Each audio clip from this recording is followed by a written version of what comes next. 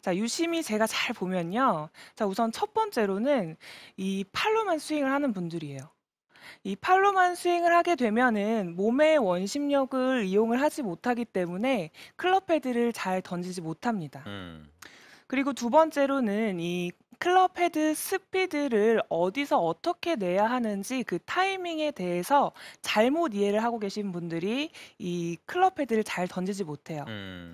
그래서 이 두 가지의 문제점을 갖고 계신 분들이라면 분명히 오늘 제가 레슨을 해드리면 클럽 헤드를 잘 던질 수가 있다라는 거죠.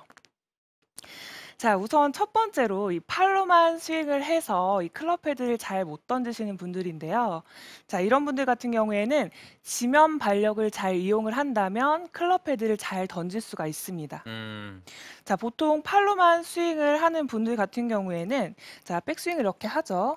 자, 그런데 몸의 회전을 이용을 하지 못하기 때문에 팔이 이렇게 나가게 돼요.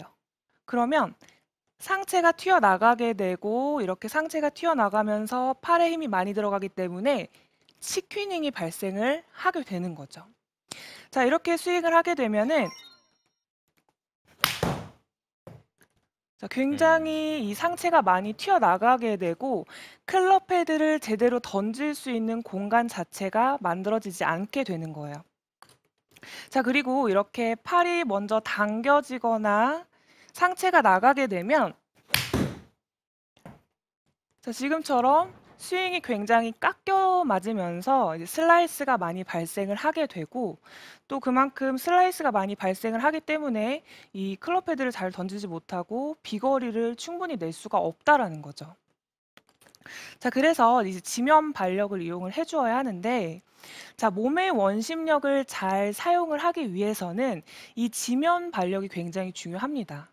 이 여러분들 아마 이제 여러 가지 동영상을 통해서도 아마 지면 발력을 잘 이용을 해야 한다라는 이야기 이제 많이 들어보셨을 텐데, 자, 백스윙을 해서 이 몸의 회전을 잘 이용을 하기 위해서는 왼쪽으로 잘 지면을 눌러주는 이러한 지면 발력을 잘 이용을 해야 그 믿, 믿고 맡길 수 있는 그 축이 생기는 거죠.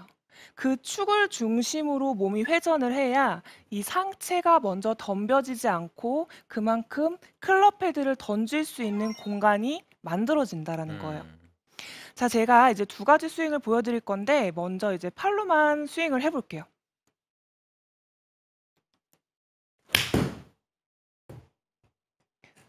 자, 지- 지금 제가 이제 팔로만 스윙을 했는데 이 왼쪽 다리를 제대로 눌러주는 힘이 없기 때문에 뭔가 축이 오른쪽도 아니고 왼쪽도 아니고 뭔가 딱 잡고 도는 느낌이 없어서 이 클럽 헤드를 제대로 던질 수가 없었어요. 자, 그렇다면 이 지면 발력, 왼쪽을 잘 눌러주고 그 눌러준 축으로 회전을 해서 제가 스윙을 해볼 건데요.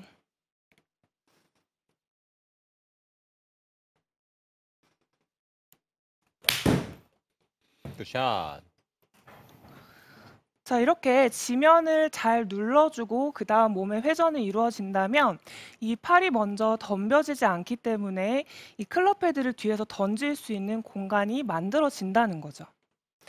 자, 그렇다면 이 지면 발력을 어떻게 해야 잘 눌러줄 수 있느냐?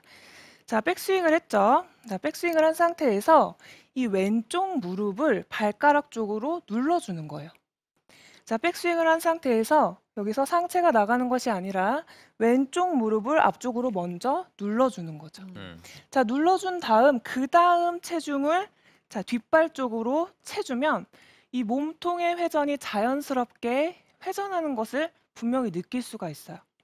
자, 그런데 만약에 이제 여러분들이 body turn 해야 한다라는 이야기 많이 들어보셨을 테고 이제 회전을 많이 신경을 쓸 텐데 만약 이제 회전만 하려고 하면 이제 지면 발력을 이용하지 않고 회전만 하려고 하면 보통 이제 팔로만 치고 팔이 먼저 덤비는 현상이 심한 분들은 오히려 상체가 더 나가게 되고 이런 식의 스윙이 나오게 돼요. 터치도 그렇고 지금 맞았을 때 임팩 소리도 다르네요, 네. 확실히. 네. 생크가 났습니다. 백스윙을 한 상태에서 이, 사- 이 하체를 그냥 돌리려고만 하면 왼쪽 축이 잡혀지지 않기 때문에 저 같은 경우에 레슨할 때 이걸 빠져 턴했다라고 설명을 하거든요. 음. 이렇게 그냥 빠지는 턴을 하게 되는 거죠.